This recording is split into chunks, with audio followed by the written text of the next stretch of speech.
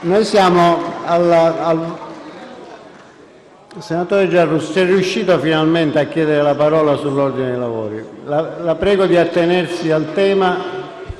Prego. Il tema è quello posto dal collega, che è la regolarità dei lavori di queste votazioni, signor Presidente. Non riesci a seguirmi? Io sono molto preoccupato, signor Presidente, lo siamo qua tutti del Movimento 5 Stelle e tanti altri di tanti altri gruppi, e anche fuori da quest'Aula. Siamo molto preoccupati perché brutalmente quello che con un giro di parole è scritto nel resoconto d'Aula, che lei avrebbe dichiarato, quello che ha esposto il collega, brutalmente si chiama il fine giustifica i mezzi. E il fine sarebbe il risultato. Il problema è il mezzo. Il mezzo, signor Presidente, è la nostra democrazia, che non può essere calpestata per qualsiasi risultato, perché non appartiene alla maggioranza, signor Presidente. La nostra Costituzione, signor Scusi, Presidente, l'ordine dei lavori. Sull'ordine dei lavori, Vorrei che arrivasse all'ordine dei lavori.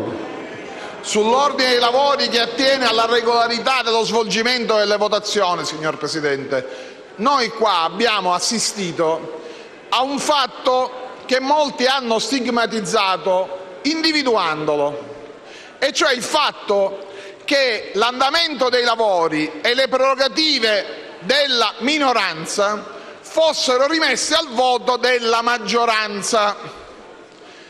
E questo, sa, signor Presidente, è un problema gravissimo.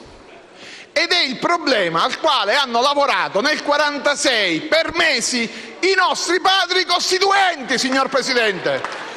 Quello che fa della nostra Costituzione una Costituzione all'avanguardia e bellissima, perché i nostri costituenti del 1946 avevano presente il tracollo di ben due sistemi democratici costituzionali, quello tedesco di Weimar, crollato sotto il regime nazista, che era un regime parlamentare, e quello albertino, che aveva la Costituzione, anche là crollato sotto il regime fascista, che era parlamentare ed elettivo.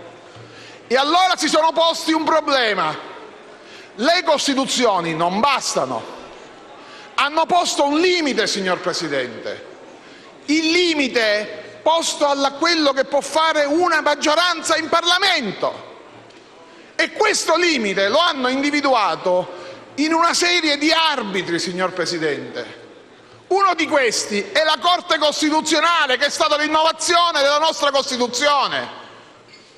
Ma non c'è solo la Corte Costituzionale, signor Presidente, c'è anche lei come Presidente del Senato. Lei è un arbitro di questi limiti, di quello che può o non può fare una maggioranza in questo Paese. E allora io, signor Presidente, sono molto preoccupato perché vediamo sempre più, ogni giorno, questi limiti calpestati a un solo terribile, orribile scopo concentrare il potere nelle mani di uno solo, il potere esecutivo. Noi questo non ve lo permetteremo. Grazie per il contributo all'ordine dei lavori. 1.1553